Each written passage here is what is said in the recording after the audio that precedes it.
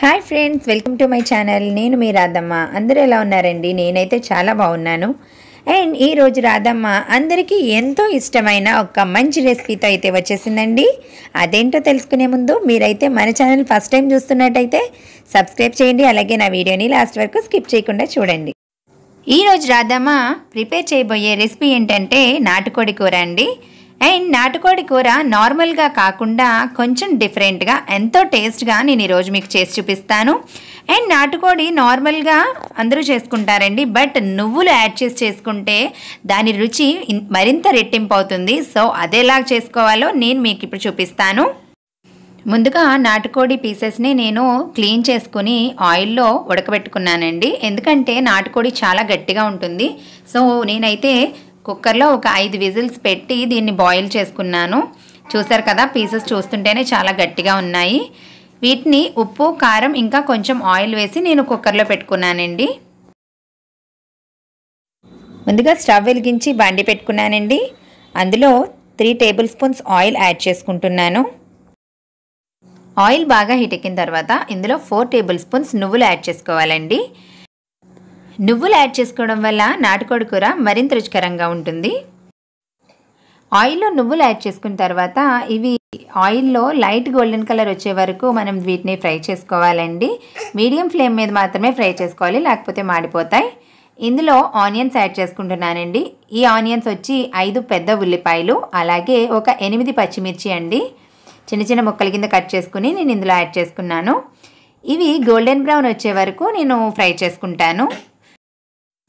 ఉల్లిపాయ ముక్కలు బాగా ఫ్రై అయినాయండి చూస్తున్నారు కదా. ఇప్పుడు ఇందులో ఆల్రెడీ బాయిల్ చేసి పెట్టుకున్న నాటుకోడి ముక్కలు ఉన్నాయి కదండి అవి ఇందులో యాడ్ చేసుకుంటున్నాను.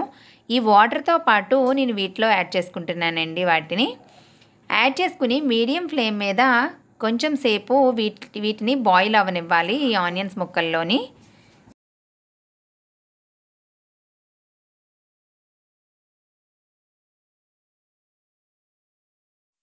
ఇప్పుడు దీనిలో టూ టేబుల్ స్పూన్స్ అల్లం వెల్లుల్లి పేస్ట్ యాడ్ చేసుకుంటున్నానండి.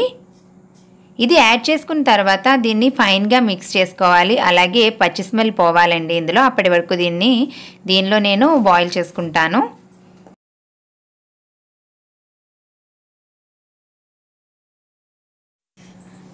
చూసారు కదండి ఈ కొంచెం వాటర్లో ఇది బాగా బాయిల్ అవుతుంది. ఇప్పుడు ఇందులో నేను టూ టేబుల్ స్పూన్స్ కారం యాడ్ చేసుకుంటున్నాను. అలాగే హాఫ్ టేబుల్ స్పూన్ పసుపు. ఇంకా రుచికి సరిపడా ఉప్పు కూడా యాడ్ చేసుకోవాలండి. ఇవి యాడ్ చేసుకున్న తర్వాత దీన్ని ఫైన్గా మిక్స్ చేసుకుని మీడియం ఫ్లేమ్ మీద పెట్టుకుని బాయిల్ చేసుకోవాలండి ఒక ఫైవ్ మినిట్స్. ఇలా కర్రీ ఉడుకుతున్నప్పుడు ఇందులో two table spoons whole garam masala powder add చేసుకోవాలండి. ఓల్ గరం మసాలా యాడ్ చేసుకుని దీన్ని బాగా మిక్స్ చేసుకోవాలండి. బాగా మిక్స్ చేసుకున్న తర్వాత దీనిలో వచ్చి కరివేపాకు ఇంకా కొత్తిమీర కూడా యాడ్ చేసుకుంటున్నాను. ఇది కూడా యాడ్ చేసుకున్న తర్వాత బాగా మిక్స్ చేసుకోవాలి.